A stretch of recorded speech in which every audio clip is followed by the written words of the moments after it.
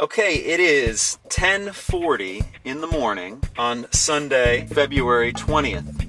And I'm out here in front of a Best Buy because I'm here to pre-order the Motorola Xoom tablet, the first Android 3.0 honeycomb tablet that's going to be available on Verizon. And in about 20 minutes, this store is going to open up and I'm going to pre order it. And I can pick it up on Thursday, this Thursday, February 24th. So I'm pretty excited about this. I'll have a full review up on my channel on YouTube here when I have this device in hand.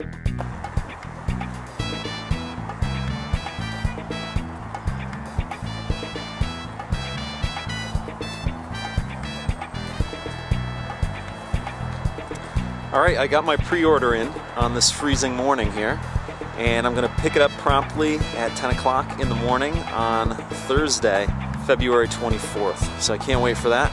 So now I'm headed home, and why don't we go and take a look at the specs on the Motorola Xoom? All right, I just got back home. Today was the first day for pre orders for the Motorola Xoom. And if you're unfamiliar with what it's all about, it is the first legitimate competitor to the iPad and it's the first Android 3.0 honeycomb device that's going to be released. It's made by Motorola and it has 3G through Verizon Wireless here in the United States.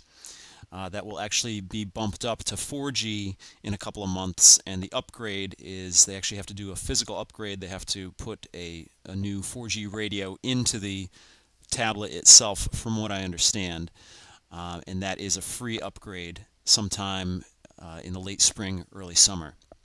Now, if you're unfamiliar with the device, this is what it looks like here, and we're just going to go over some of the features on it. So the first thing we're going to cover here, cameras and video. Now it has a front-facing camera and a rear camera. So you can do Skype calls on it. I don't know if the apps are there yet, but you'll be able to do that and you can take photos with it. The rear camera is 5 megapixels and it has an LED flash and digital zoom and it captures 720p HD video and it'll play it back over an HDMI through the device itself. Over here covers the processor. Now it has a dual core Tegra 2 processor. Now there's a lot of devices coming out with Tegra 2. The Motorola Atrix I think is the first and uh, this might be the second device that's going to come out with it. Uh, it's clocked at 1 gigahertz per core, so you have two cores clocked at 1 gigahertz, and it has a GPU as well. It says here double the speed, double the power. Uh, it has advanced performance with superior graphics, faster downloads, and you can multitask with it. As with all Android devices, you can actually use Flash on it, so that would be one of the main differentiators between this and the iPad, along with the front-facing and rear camera although the iPad 2, I believe, is supposedly going to have the two cameras on it as well, or at least one camera on it, but that's yet to be announced. So let's go to the next thing here. The display on this is a 10.1 inch widescreen HD display, and which is a little different from the iPad. The iPad has a smaller display, and it's not widescreen formatted. You can play back your video in 720p HD. Uh, the touch screen has pinch to zoom, just as you would expect from an Android device. And the resolution is 1280 by 800, and that's uh, 150 pixels per inch. The next thing here, it says Google Software. Like I said before, it's the first device that has Android 3.0 Honeycomb on it, which is the Android designed for tablets. Like I said, it's fully upgradable for the 4G which will be in a couple of months. Again, like I said, that's a free upgrade. And it says radical new floating multi-finger user interface, which I don't know too much about right now, but when I get the device, I'll let you know a little bit more about it. Up here, the last uh, bullet point here is flexibility. You can multitask on this device as you can on all Android devices. You can access various types of files. Uh, you can open, edit, save, and share documents. It's data encrypted for total security. You can check your email just as you'd expect, and it has one gigabyte of internal RAM, which is a big deal because most Android devices have a lot less than that. I think the only thing uh, that will match this currently is the Motorola Atrix, uh, the phone that's coming out actually tomorrow. So those are the bullet points on the actual Motorola Xoom device itself.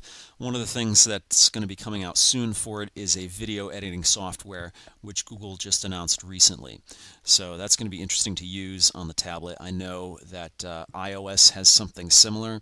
I haven't had a chance to use it, but uh, it'll be interesting to see how it works on the Motorola Xoom. And I'm actually, when I get my hands on that, I will actually produce a video on the device itself so you can see how it works.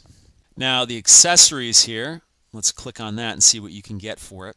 Seems like right now you can get a dock with a keyboard, a Bluetooth keyboard, a regular dock, and a case slash stand over here.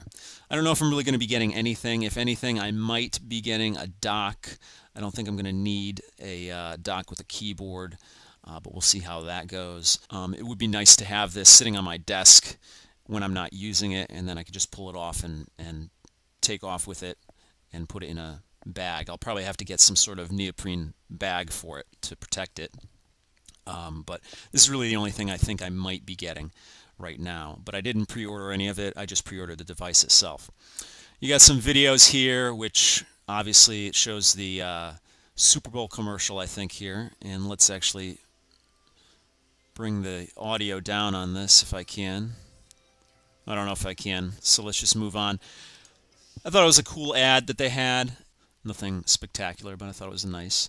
Um, now the photos here are pretty much of the device itself. I'll just click through these so you can see. There's the front of it. And the one thing about this is that uh, the interface is a lot different than what you might expect or what you might be used to on an Android device. Widgets are very prominent here and there's a lot of different interface. You, you have your back button, your home button, and then a I think a multitasking button here. Your menu button and your search button have been moved. The search is up in the upper left-hand corner up here, which includes a voice search. And the menu, I believe, is up in the upper right-hand corner, as well as your apps here. And then down here in the lower right-hand corner is where a lot of the notifications are going to come up. So it's sort of like a, a desktop experience, but uh, it has a lot of panels to it. And I'll show you this on Thursday when I actually have the device in hand. Here's another view of it and a side view of it.